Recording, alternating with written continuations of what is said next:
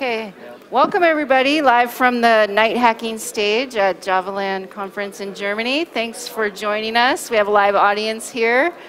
Hi everybody. Hello. So we're starting out this session um, coming over from the early adopter area. We have some Java EE experts telling us what's new and hot. Uh, so we're going to give you a little teaser here on the NightHacking stage, and then we're going to be moving over to the early adopter area with the tables and the boards so we can get a more interactive discussion going. So that's over to my right. But to get started, um, we're going to introduce our first expert, who is Sebastian Daschner from Germany. Welcome, Sebastian. Hi. Hey, everybody. All right. So you're going to tell us a little bit about the JSR 367J uh, Java API for JSON binding. Would you tell us a little bit about that? Exactly. What you've been doing? So, um, can you switch to You want to? We want to see your screen. Yeah, we could see the screen. We have so, a few slides for you guys. So yeah, uh, what's new in Java EE8? What will be included for JSON-B? As yeah, JSON is a pretty hot topic right now. We have a JSON-P API which uh, can create JSON objects programmatically uh, already, and this will also be included for JSON binding. The idea is for that No uh. JSR to bind JSON objects to uh, Sebastian, there's no signal on your laptop. No? Oh, sorry. Your laptop's not connected. Yeah, that's. We are all live. That's why This is live this can hacking. happen.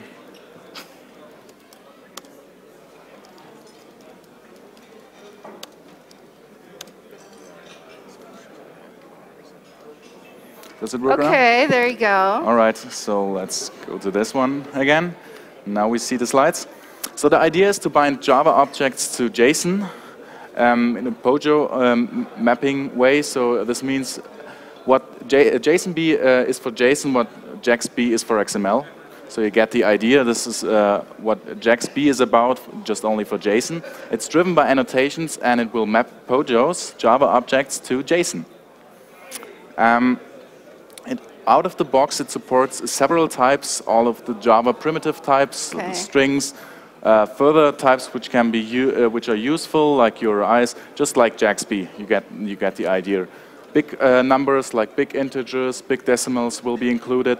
The new J, uh, Java 8 features, optionals, will be included as well. So um, Java 8 was also taken into account here. Um, the same is true for the dates, so also the new date and time API is included. These types can um, be mapped to JSON automatically out of the box without any adaptions, um, as well as collections, enums, and arrays. And also this uh, JSON-P API is included. So these uh, objects Okay. can just be used out of the box. So it's pretty simple uh, to use actually. Um, I have a short uh, yeah, code example here. Um, this is just a POJO with some annotations, and you get the idea. Just like JAX-B uses this for XML, this uh, can be used here for JSON mapping.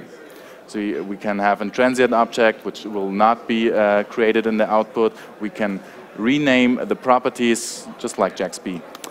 And for more complex examples, uh, you can use JSON-B type adapters. This is somewhat similar to JAX-B um, type adapters. You, you have more or less control over how to map specific uh, subtypes included in your POJOs to the JSON uh, output.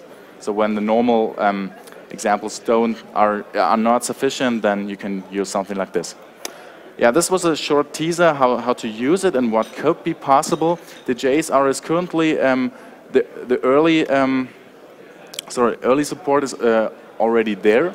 You can um, check out the first version actually, and you can still yeah take part in it. So you can, for instance, follow the the mailing list. I've included the links here. Um, you can have a look at the JCP project page. Okay. If you're curious about it, just follow the mailing list, have a look at the early draft. You can already read the document and provide feedback. So, so the experts are pretty happy if you just have a look at it, provide feedback, think wh- wha- what could be improved. And also uh, to mention, there is a project from Apache, Apache Johnzon. This already includes some early support for that early draft version. So if you're really eager to um, yeah, to, to try out the early version to, to get a look at it first, you can you can use Your this. what? You're it down. Yeah, thanks. Okay, Sebastian. attention. All right, thanks for sharing. So, Mm-hmm. um, like we said, the draft uh, spec is available on jcp.org. Exactly. And we're going to switch to another JSR now, but you're going to move this over to the early adopter area and people Uh-huh. can take a look Yeah, more can, you hands-on. can join and us and give have a their at the feedback. Okay, why don't you take off the microphone, turn it mute. Okay, all right. So moving on to our next topic, I think we'll start uh, with Mark Struberg, who's sitting here next to me, and okay. Uh, so Mark, hi. Hi, Hold on, I got to get your mic for you. Are you gonna move? Are you gonna move? Or are you gonna stay there? You gonna move? You gonna show? The, okay. Okay. So Mark is from Austria, not from Germany, as we've already discussed earlier today.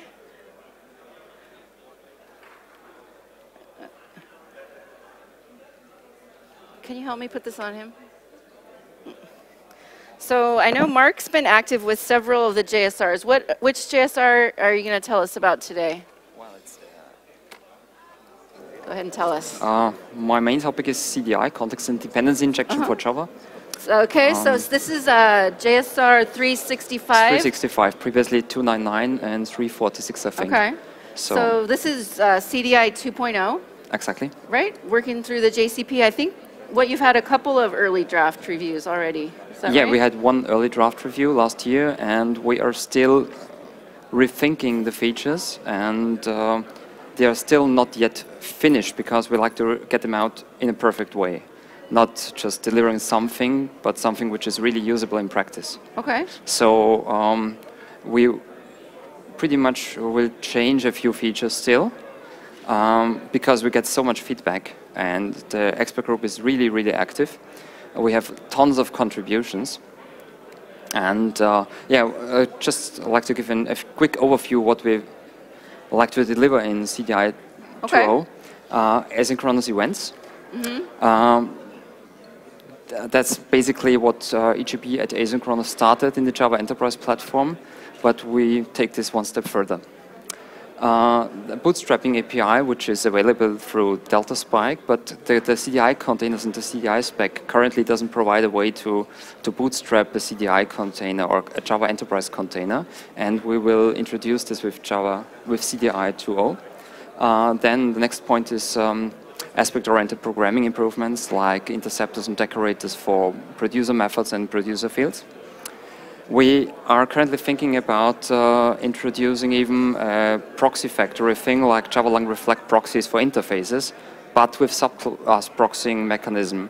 So even broader, you don't need any interfaces anymore, so you can proxy real classes uh, in the spec.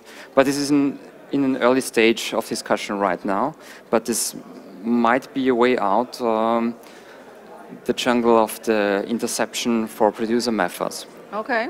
Uh, another big step is uh, to split up the specification in a Java SE part and Java EE part, because uh, JSR 299, or previously the WebBeans specification as it was originally named in 2008, started um, pure for Java Enterprise.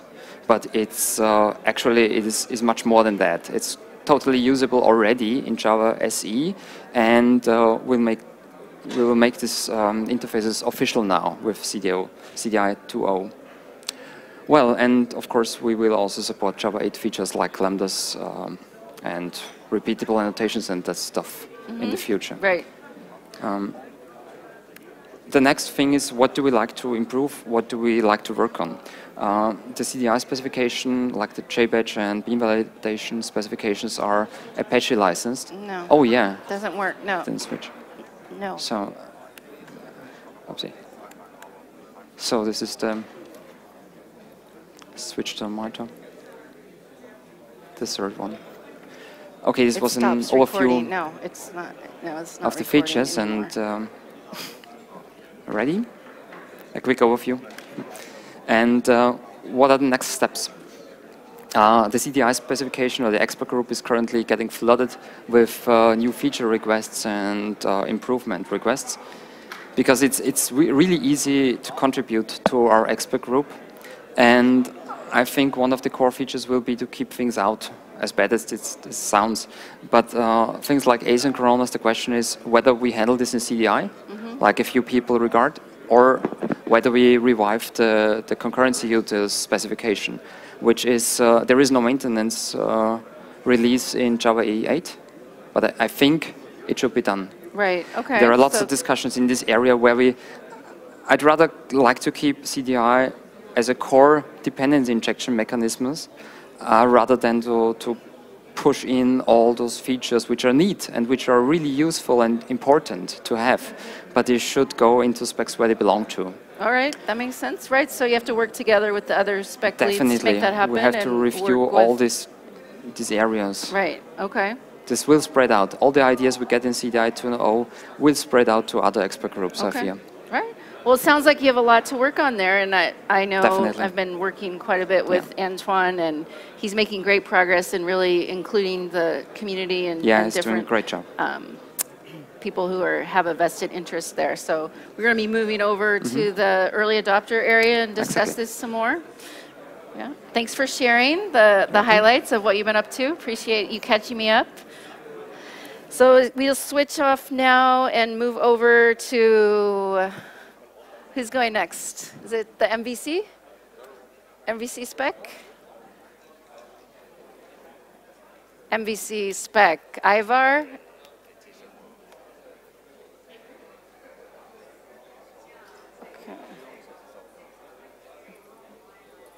Okay. Are we doing, uh, so we're going to have now Christian and Ivar together? Is that the plan? To talk about MVC, both of you? That- You get really close together. We're going to have, uh, we're going to welcome Ivar and Christian, who are both on the MVC spec. That's JSR, is it 370? 371, I think. yeah. 371. JSR 371, MVC for Java. And we have a few slides here. So um, Christian and Ivar, you're both on the expert group for the MVC spec, is that right? Yeah, exactly. Okay. Are you turned on there? Okay. Can you? Okay. what? All right. Okay, Yep. Fun. Great to meet you. I'm glad to hear thank you. that you're getting involved in the JCP, that you've been a member for how long? I think about two years, perhaps. Member of the Yeah. JCP for a couple of years Exactly. and had been following, was it JSF? The JSF, Mm-hmm. JSR, exactly. And then MVC when it came up. So when MVC came up, that really was your motivation to get more involved in the JCP and participate at a higher level. Uh, I think it was very interesting that this kind of new web framework, as a contrast to the uh, to the JSF, came up, and I, I think I was very fascinated by the the simplicity of the framework, and that was something that uh, I found very interesting, and I thought perhaps I could help out with uh, building this specification. Okay, cool. Yeah, that's great to hear. I always love to hear how people get involved in the JCP. So thanks for sharing. Now you're going to give us a little bit of a preview from your screen on some of the work that you've been doing in the expert group. Yeah, I think this JSR had an early draft review a few months ago, right? That was published Yeah, on jcp.org. Actually, the second early draft review Second is one. out. Yeah, Mhm, exactly. okay. Late uh, 2015. Okay. Well, I'm showing your screen now, so you want to walk us through what you put together for us? Okay. Um, yeah. So actually, um, MVC is a very straightforward and simple framework compared to something like JSF, which is more a component-oriented framework. So actually, the processing model is very easy. There's a request coming in. It's um, matched against the controller. The controller executes some codes to prepare some some kind of model, and then selects a view to render. This is very simple compared to the complexity of, for example, the JSF lifecycle. That is a very fascinating idea. Okay, and uh, the interesting thing here is that uh, MVC is built co- completely on existing uh, JSRs, especially JAX-RS and others like CDI and uh, Bean validation. So um, a controller is basically a standard JAX-RS resource with one special annotation on it, which is uh, add controller. And this marks this class as an MVC controller. So what, what you can do now is basically define methods here, standard JAX-RS resource methods. And um, annotate them as usual with add get and add something like uh, add view to select a view to render. And now typically you have some data to present in the view. That's very simple to do. You simply inject an instance of models and then populate the model with the data you want to show. And that's basically all you have to do on the controller side. So really a very, very simple model. The path is matched against this JAX-RS controller. You prepare the model for rendering. And what you do now by um, using add view is select a view to render, which can be a standard JSP file or even a facelets file. And a classic view can look like this. This is a standard HTML5 document as a JSP file, and now you can use the standard expression language to assess okay. the values you, you set in the model. And that's basically all. That's right. a basic processing model of this very simple and straightforward mm -hmm. um, web framework.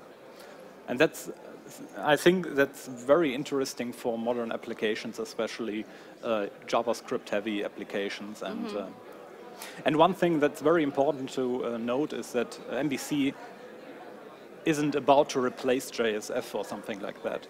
Basically, MVC is just a completely different model to implement web applications, which is more action-based in contrast to JSF, which is more component-based. So it's creating more choice for developers exactly, as an option, yeah. additional option, yeah, which exactly. is great. More okay. freedom, choice for the developers. So. Yeah, I think that's very important because we all have learned that there's no simple answer to the question which is the best web application framework. There are different approaches and there are pros and cons for every single mm -hmm. framework. And MVC um, is very simple, it's straightforward, and that can be your preferred choice in certain scenarios. Okay. Awesome. So you're going to be over in the early adopter area collecting more feedback and yep. continuing the conversation. So thanks for joining us and sharing with us what you've been up to and what's going on okay. with the MVC JSR. Okay.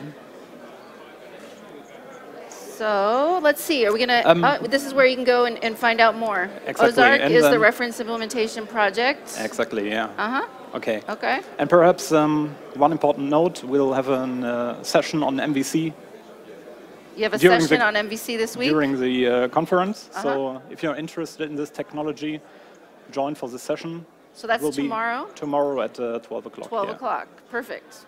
Thank okay. you. Thanks, Christian. Thanks, Ivar. You guys going to move over now to the early adopter area, and we're going to um, talk to, we're going to talk to Roland next. All right? Sounds good? Okay, Roland. Hi, Roland. Okay. Which, which JSR are you working on these days? I know you're not on, just you can tell me. Okay. JSR 373. So, hi, Roland. Thanks hi, for joining hi. us. Okay. Hi. Hello. Hi. Hi. All right. nice to see you again. Yes, yes, yes, it's always a pleasure. So it's been a year since yeah, I saw yeah, you, yeah. right? So yeah, I'm, I'm, working on JSR 373, okay. which is in very early stage at the moment. Mm -hmm. So we still have, so first of all, yes. what's about? What is yeah, this exactly. JSR 373? Yeah. What is this? Uh, it's uh, supposed to be the successor of JSR 77. Okay. Which is, is this uh, a management API? Yeah, exactly. So this was for those who don't know JSR yeah, exactly. by heart. What yeah. there's over 300. Oh, you don't know it by heart. So. We're special, yes. okay. No, it's uh, JSR 77 was it's old, quite quite old, and it has been already dropped, I think, at Java EE 6, and it's about providing management information in a structured way. Okay. So this is uh, the intention of JSR 77. Uh, however, uh, it needed some support by the renders and was not really picked up, probably. And then the idea is to have a successor which is uh, which moved all the, the idea of having a structured way for accessing Java EE entities uh, on a new level. And so the idea is born to, to expose all the information via REST API. Okay. So JSR 373 is all about providing management information over REST, mm -hmm. which is not necessarily connected to JMX. So it's uh, something independent. And uh, there's a, an early prototype, uh, proof of concept, but we still have no early draft, but we are still in the way of, of setting up things. And um, so everybody who wants to join us to have ideas mm -hmm. how to how to contribute, how to how to structure all the information. For example, there's currently some discussion how to model data types like like dates and so on okay. for exporting them over this management API. Uh, everybody is invited to join our mailing uh, group, so it's a JSR 373. Unfortunately, I don't have slides, but you find it very easily on the Okay. on the on the on the on the web. And there's a, the mailing list, which is uh, it's a usual thing: user group, expert group. Okay. And, and you can join us Yes, I there, and, that and we have yeah. we have some some some dis early discussion. So it's not mu much I can show at the moment, but I only can invite you to join us. And if you're interested in having a standardized way for accessing Java management information, this is the right place. All right. Well, you Okay. know, um, I appreciate you, you just sharing that with us. Yeah, we, we just lost our power, but I think Yeah. everyone who's here in the room can still hear us. Okay. So we have we have uh, know, a few more minutes over in the early adopter Yeah, exactly. I- over there. I- so get more particulars about what it is that you're looking for Exactly, and what kind if of things the on- um, expert group is looking Yep. for. Yeah. Okay. All right. Well, it's great to see you. Thanks for sharing. I think we have Thanks. one more expert to hear from. A spec lead, as it were, Anatole. Thanks for joining us.